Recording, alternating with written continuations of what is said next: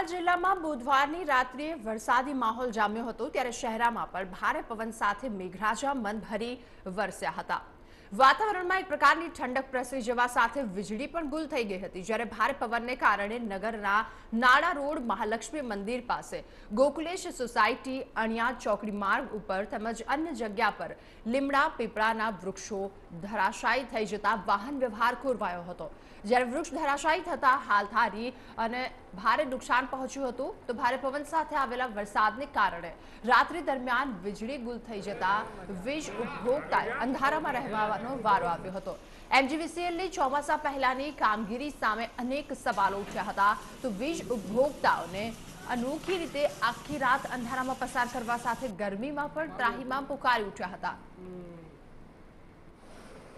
વરસાદ આવતા જ વીજળીના કડાકા ભડાકા સાથે મેઘરાજાની ધમાકેદાર એન્ટ્રી થઈ હતી. વરસાદ આવતા જ વીજળી ડૂલ થઈ હતી. ત્યારે લોકોને ઘણી મુશ્કેલીનો સામનો કરવો પડ્યો હતો. પવન સાથે મેઘરાજા મન ભરીને વરસ્યા હતા, જેનાથી વાતાવરણમાં ઠંડક પ્રસરી જવા સાથે વીજળી ગુલ થઈ ગઈ હતી.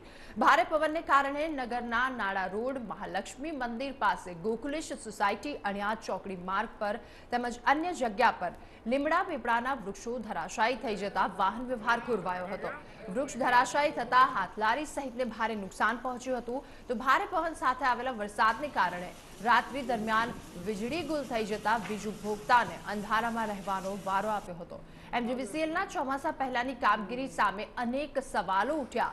સાથે જ વીજ ઉપભોક્તાઓને આખી રાત અંધારામાં પસાર કરવા માટે પણ ગરમીમાં ત્રાહીમાં પુકારી ઉઠ્યા હતા.